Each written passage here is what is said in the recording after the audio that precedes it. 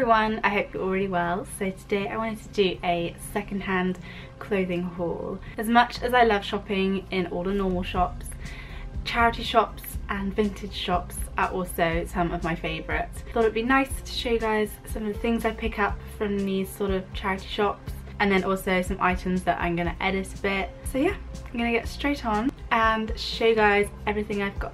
So I'm going to start off with my favourite vintage find. I picked this up when I went to a flea market near my grandma's. Um, I think flea markets um, are probably advertised online so you can see if there's one near you or one close-ish.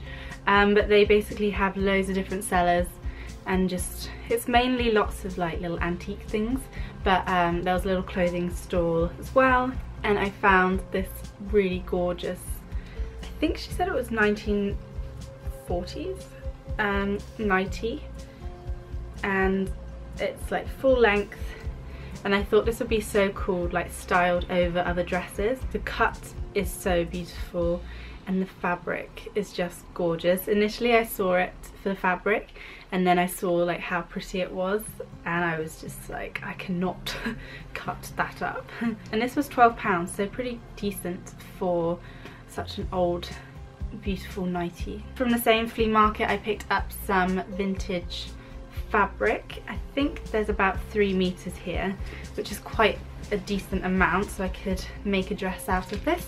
I can't remember how much this was, but it's, she said it's vintage Liberty wool, and it feels so soft, and I'm just really excited to make something out of this. From the same lady, I picked up this kind of love-hate fabric. It's like curtain fabric, but I just kind of fell in love with the print on it, with the little bows and all the floral stuff. But um, I know pretty much all of you are going to be going what is that. But at the moment I'm using it to make a little bag. So this bag is in my little collection that we're doing. Um, it's got a big a big ass bow on it. This is with the fabric turned around the other way so it's inside out um, so it's not quite as um, bright and then the rest of the bag looks like this and I'm gonna attach it all together. So we'll see how that goes. So that is everything I picked up at the flea market and now I'm going to go on to charity shops. So all of this stuff is either from a charity shop or a jumble sale. I did go to a little village jumble sale and they had so many clothes just laid out everywhere and you could fill up a black bag for two pounds.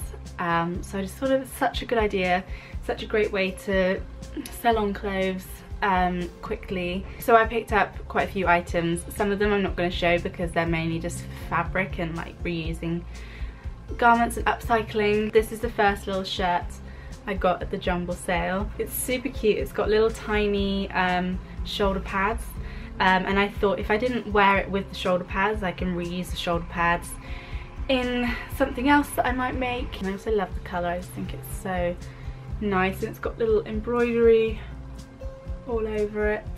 Also from the jumble sale I found this little cardigan which has a really like loose open knit um, in this really gorgeous chevron and this looks so good like done up over like turtlenecks or like high necked um, tops. Yeah, I always love little cardigans like this. Then another cardigan from the jumble sale. This one is in this really gorgeous sort of teal turquoisey shade. When I'm shopping in like jumble sales and charity shops, I always like look for interesting textures or interesting colours and that's generally how I find the things I like. so yeah, I haven't worn this one yet, um, but I'm sure I will soon. This is probably the item I've worn the most recently. It's this little zip up cardigan and I just love the little collar on it. I think it's so cute. Um, it's really interesting to have a collar on cardigans now. I just feel like you wouldn't find this in a normal shop so it's really got that like cute vintage feel and then you can pair it with things that aren't vintage and it just gives a really interesting look. So yeah, I love this so much and it's now contributing to my ever-growing pile of cream jumpers and cardigans. Then the final thing from the jumble sale that I have to show you is this little embroidered um, shirt. I just thought the embroidery was really cute and um, it stops at a really nice length because it's for petite. Um, it kind of has a, a really nice cut off point. And the darts in the back make it fit really nicely. Um, so it's just a lovely little piece. It's quite synthetic so it is a little bit sweaty, but it's also quite good for winter because it means it's quite warm. And it looks really cute tucked in to like flared jeans or um, like a little skirt maybe. Now I have a few things from the charity shop. First one is this shirt which also has embroidery on it. I'm a sucker for like embroidery on shirts and blouses.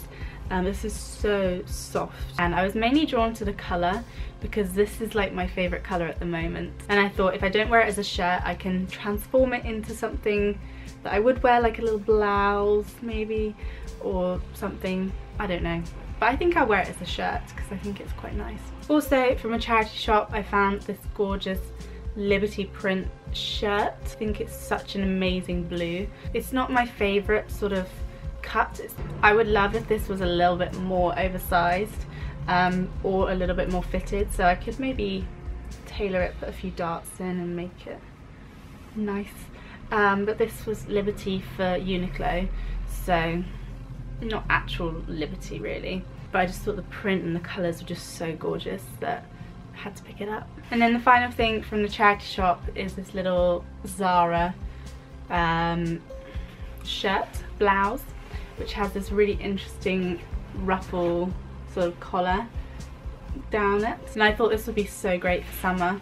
Um, that's the other thing with shopping in charity shops, it's sometimes good to not always just think about the season you're in. But yeah, I love this. I haven't actually worn it yet, so I don't really know what I'm to style this with, but it's really cute. It's got little puff sleeves and everything. So, yeah. And then this coat you guys have all seen before, but I just wanted to share this as like a reason why you should all go charity shop shopping. this I've worn in some of my vlogs, but it's like my favourite coat ever. And often in charity shops, they'll do like a one pound rail to get rid of stuff. And this was one pound. So it's my one pound coat and I love it. So there we have it. That is the end of my secondhand vintage charity shop haul. I hope you guys have enjoyed it and I hope it has inspired you to go into some charity shops or little vintage shops or even online on Depop and think about where you're shopping a bit more. With fast fashion it's so easy to just constantly be buying cheap and a lot of it. But it's so nice to have pieces that have a little bit of history, a little bit of interest about them. So yeah and it's also fun like going charity shop shopping because you never know what you're gonna get or never know what you're gonna find. And sometimes I find nothing and sometimes I find loads of things. So yeah but anyway I hope you enjoy charity shop shopping if you do go out after this video and do some. I really hope you all enjoyed the video and I will see you in my next one. Bye!